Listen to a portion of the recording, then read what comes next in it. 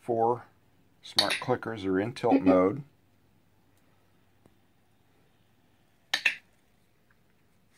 And we're using a blue feeder to automatically trigger the tilt mode.